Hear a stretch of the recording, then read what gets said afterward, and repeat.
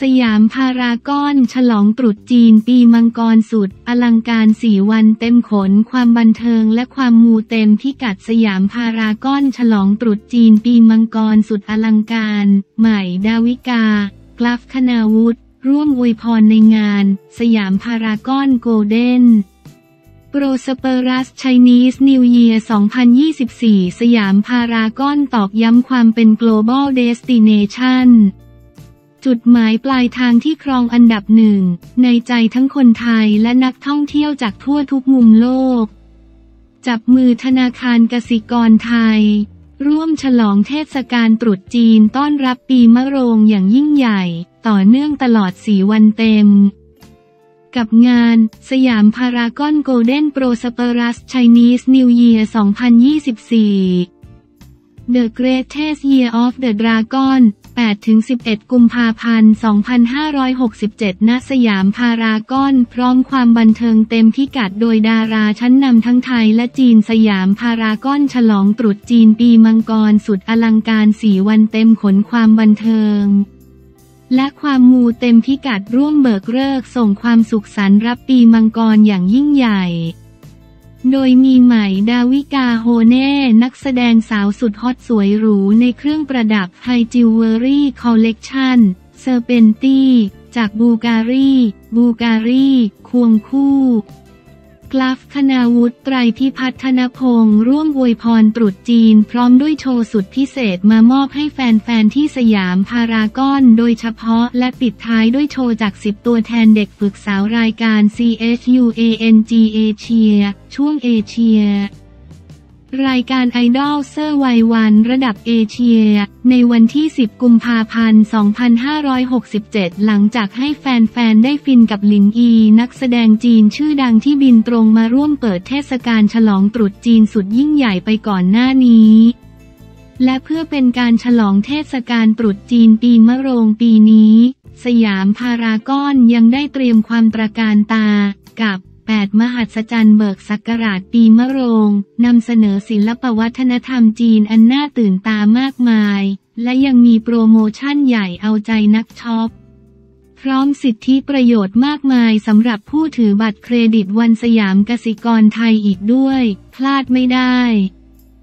วันนี้ถึงวันที่ 11 กุมภาพันธ์นี้เท่านั้นที่สยามพารากอนพบกับผลงาน art installation มังกรสีพาสเทลยักษ์ ออกแบบโดยศิลปินระดับโลกชาวอเมริกันแอนชบอน แองเคอร์บอน หรือเคน เคนแลเฮ เคน เคลเลอร์ อุโมงค์มังกรแห่งความรุ่งโรจน์และมังกรทองมงคลณพาร์คพารากอน และเดอะจิเวลชันเอ็มตรุษจีนพารากอน พร้อมสักการะองค์เทพเจ้า แชกงหมิวจำลองจากวัดดังแห่งฮ่องกง พร้อมรับแผ่นทองวัดแชกงหมิวเสริมสิริมงคล โดยอาจารย์คทาชินบัญชรนักพยากรณ์ชื่อดังบินตรงไปทำพิธีอัญเชิญมาให้คนไทยได้สักการะขอพรเพื่อเป็นสิริมงคลแก่ชีวิต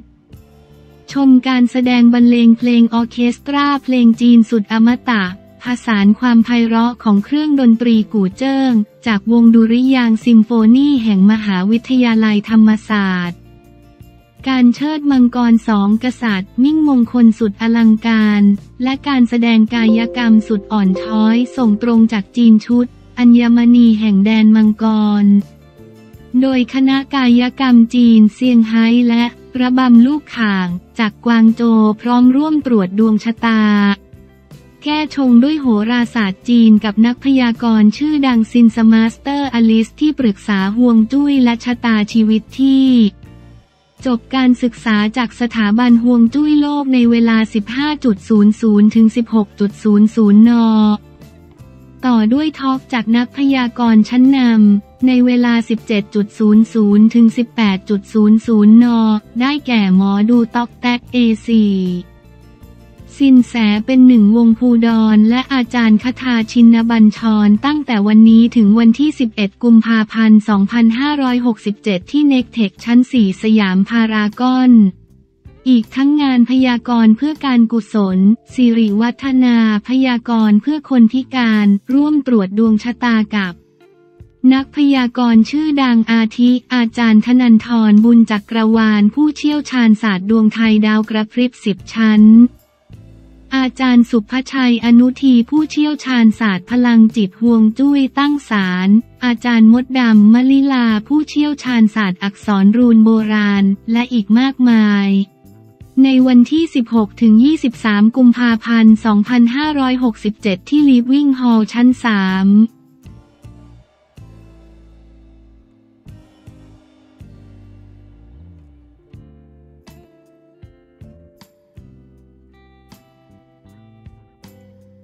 ข่าวดีหรือเปล่าครูภัยบูลโพสต์ ภาพคู่สาวหน้าตาดีตอบชัดใช่ เมียใหม่ จริงไหมข่าวดีหรือเปล่า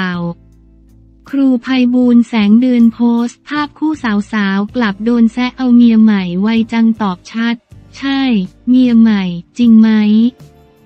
เรียกว่าขยับตัวไปไหนก็มีถูกจับตามองตลอดสำหรับครูภัยบูลแสงเดือน อดีตสามีของนักร้องชื่อดัง กระต่ายพันนิพา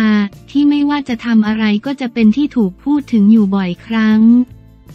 ล่าสุด วันที่ 10 กุมภาพันธ์ 66 ครูภัยบูล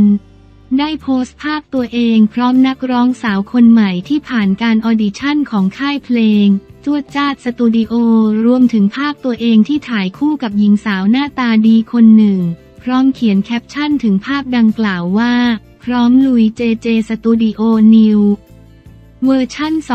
2024 ไม่ต้องมีโปรไฟล์ไม่ต้องมีกระแสมาพบแค่ความตั้งใจอดทนพยายามมาจะพาโจ้ดะไปด้วยกันฝากสาวๆก่อนนะครับ ส่วนหนุ่มๆเดี๋ยวเปิดตัวทีหลังเครื่องหมายสี่เหลี่ยมนับหนึ่งด้วยใจมั่น แต่ไม่วายกลับมีชาวเน็ตคนหนึ่งเข้ามาคอมเมนต์แซะถึง ครูไพบูลว่า ครูเอาเมียใหม่ไวจังเลยครับ รอติดตามผลงานครับ ด้านครูภัยบูลก็ตอบกลับไม่ได้เอาเมียใหม่ทันทีว่า บ่เอาง่ายครับ ขอโสดสักยี่สิบปีก่อนครับ รวมชาวเน็ตอีกคนหนึ่งเข้ามาถามและเตือนสติแรงถึง ครูภัยบูลว่า สวยมากครับ ครูระวังด้วยนะครับ 5,555 จากนั้นครูภัยบูลตอบกลับแบบสุภาพแต่มีสะดุ้งว่า ครับ ฝากติดตามชีวิตตอนต่อไปด้วยนะครับ ขณะที่ชาวเน็ตอีกรายเข้าก็เข้ามาคอมเมนต์แซะแบบเบาๆอีกว่า หานักร้อง ผิด หาเมีย ถูก ด้านครูภัยบูลตอบกลับทันควันไม่แพ้ที่ถูกแซะไปว่า สุดยอดไปเลยแถมชาวเน็ตอีกคนหนึ่งถามย้ำครูภัยบูลเพื่อความแน่ใจอีกว่า สวยๆครับ นักร้องใหม่ใช่ไหมครับ อาจารย์ ซึ่งครูภัยบูลก็ตอบกลับว่า ครับผมเป็นนักร้องใหม่ขอบคุณเฟซบุ๊ก